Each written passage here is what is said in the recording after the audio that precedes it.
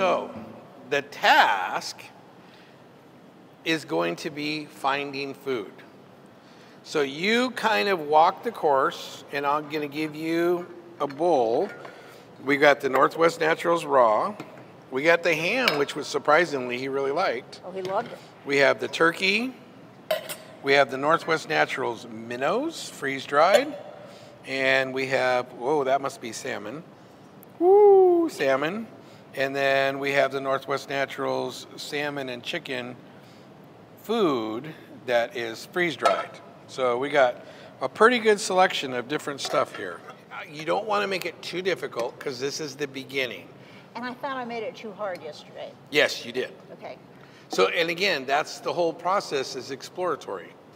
Make it simple and then start getting more complex. Okay, let's put one over on this side of. Okay, so pop that there. Okay. And you can hide them a little bit, but don't, don't like put a piano or a, a gun safe on top of it where he can't take that off of there. So explain to me why we're doing this introduction to scent work here. it will help me get connected with him um, in terms of find it. Okay, And you're using giving my him a hand command. signals. It's fun. It's fun, It's tasty. and I can get him to right at the end of here. Start anticipating and associating you with fun and not just work. All right, so that's where his treats are at. Now, whatever happens, happens. If he comes out here and he heads for a treat, then just as you see him starting to head that direction, you just want to be part of that. So you're going to say, find it. You're going to point your body towards that treat. You're going to look at where the treat is, and you're going to point your finger towards that treat. So he starts to get familiar with if there's a treat, that's where you're going to be looking. That's where you're going to be pointing your energy. That's where you're going to be pointing your fingers. And because he'll get to the point where it's more advanced, where you may have a treat over by that, on the far side of, of wherever you're working, and you may just have your toes pointed there, your shoulders square and to that. know to go look. Yep, and, and you'll say, find it, and he'll start heading that direction. That's where you start adding more complex stuff. Now, here's the cool part. When you are using these skills in the conformation ring, and you see that he's getting distracted over here, you point your toes in the direction that you're going to gait, and you can say, find it. He's going to go that direction. And I don't have to give him a correction, which will slow him down. Right, exactly. So now Right. you're going to have that nice, beautiful, smooth gait. We're, we're finding little, cool, fun things that we can use as tools in the ring later on. Where most people just go in with no game plan or nothing and just yank their dogs around. That's right. And then the judge can't see the actual gait of the dog. Find it! Find it! Find it! Find it! Find it! Yes! Go see mom. Go see mom. Find it! Find it! Come on. Go with her.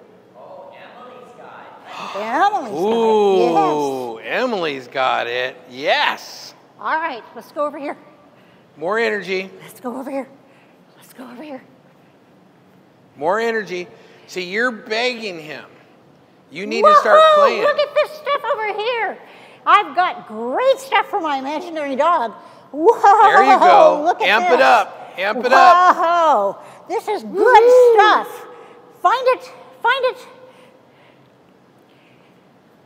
And I'm going to go over here. Yes, I am. Yes. Find it. Find it. Find it. Find it. Find it. Mark it. Yes. Yes.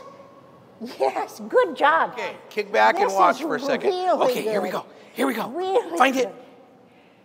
Yes, touch. Yes, good job. Over here. Come on, come on, come on. Let's go. Let's go.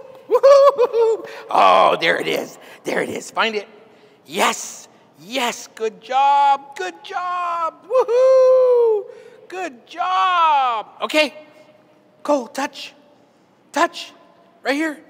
Right here. Touch. Yes, good job. Okay, come on over here. Woohoo! Yes, yes, yes. Find it. Oh, look Find at that. Look at that. Find it. Yes, find it. Find it. Yes, good Yes. job.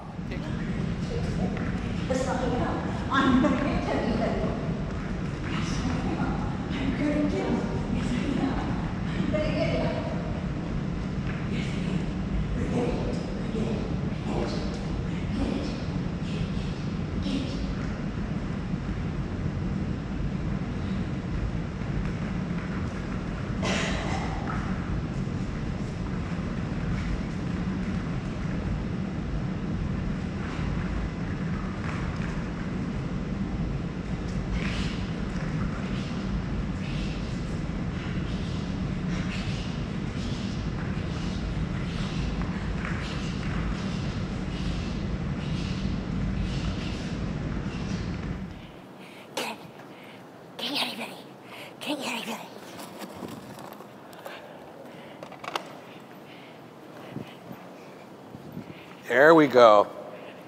There we go. It's time to play. Yes. Yes, it is. Woohoo! Over here. Yes. Yes. Yes. Yes. Oh. Arr, arr, arr, arr. Yes. Touch. Touch. Yes. Good touch. Over here. Get it. Over here. Back over here. Yes. Around here. Touch. Wait. Wait. Wait. Wait. Wait. Ah, ah, ah. All right. Get it. Yes. Over here. Go. Over here. Come on. Yeah. Good boy. Oh, good boy. Oh, yes. Yeah. Wait. Wait. Ah. Stay. Over. Touch. Yes. Good boy. Ready? Up, up, up, up, up, up, up, up, up, up, up, up. Up, up, up, up, up, up. Yes. Good up. Yes. Over here. Good, good, good, good, good, good. Stand. Stay. Ah, ah, ah, ah. Good. Stay. Watch it. All right. Good job. Right here. Find it. Good. Okay. Play with him. All right. Cole. Cole. Look what I've got. Come here. Take him back. Oh, go, go, go. You got him. Let's go. You Catch. got him. Yes, you did. The worst thing in the world you can do is look at him and put that pressure. I tell this to people all the time. And like, I'm just looking at my dog. Everybody looks at their dog. But they don't realize what kind of a hole they're digging when they do that. Well, and I did not realize until this week when I saw some video how much I am bent over him. Yeah. I mean, when you told me to practice in here this morning, not looking at the stuffed dogs, it improved my posture like 300%. I tell people you don't need a dog to practice for the conformation ring quicker. You also want to make sure that when you're backing up and your dog is straight, that you flip all the way around and all your energy, your shoulders, your hand, your face, everything is looking that direction, and you just kind of keep that momentum going. You don't want to push your dog off over here. Okay, so let me see it nice down and back, coming back to a non baiting judge. Very nice. Very nice. Good. Perfect. Perfect. Okay? Good. Lean forward, or backwards, and stand. Good. Okay. But this is where you get your mechanics. This is where you can see what's going on without putting pressure on this dog as you're fumbling through this stuff. So if you want to make that relationship perfect between you and this dog, if you want to make that performance perfect between you and this dog in the conformation ring, work out all the the cobwebs without the dog. And then you go through the motions and that dog will just follow through with that. Pressure is something that this dog doesn't want.